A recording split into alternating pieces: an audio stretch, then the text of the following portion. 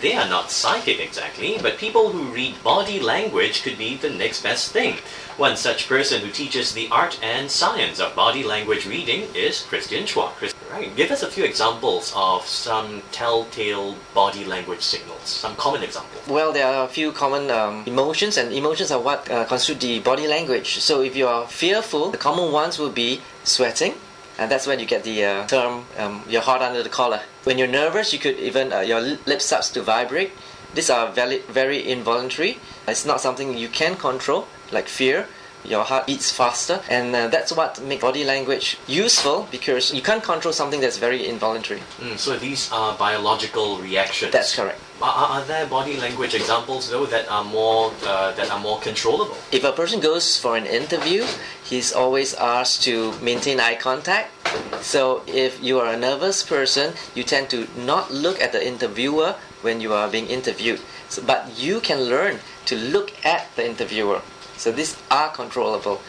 If you gesture a lot with your hands, and then some of your friends tell you, hey, you, you move too much with your hands. So during the interview, you might want to just tighten up and leave it on your lap. So that's controllable. Mm, Why is the grasp or the appreciation of body language reading principles important for people like the rest of us in our day-to-day activities? How can it benefit us?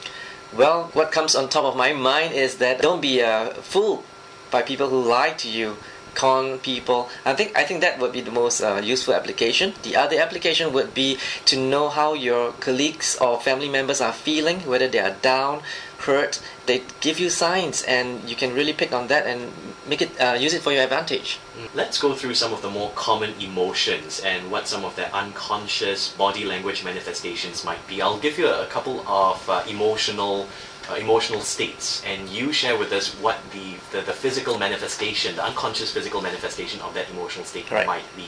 All right, let's talk about first nervousness. You covered this briefly uh, a couple of minutes ago. Share with us more in depth now. A person who is nervous but maybe does not want to show that he's nervous, how, how might his body unconsciously react to his nervousness?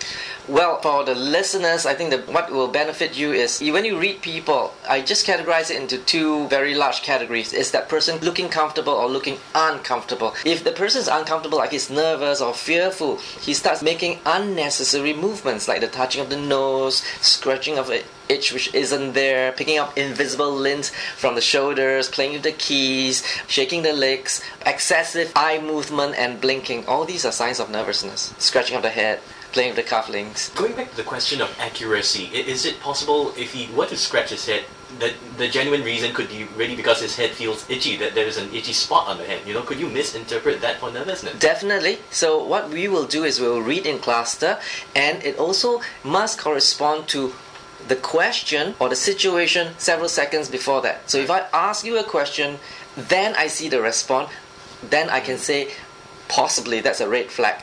I remember what that question is, then I make you comfortable again, which means bring you back to the baseline, and maybe I'll repeat that question again, and I'll see if you react again in that manner. Uh, let's go on to the next emotion now. Very common one, excitement. Someone's excited, um, but he maybe does not want to show he's excited. Maybe you're discussing a business deal or something. You don't want to give too much away, but you're excited, or that person is excited. How would you be able to tell? Okay, I I assume the, the the emotion of excitement is a positive excitement, Okay. happy positive excitement. The most uh, explicit sign will be the rubbing of hands in anticipation.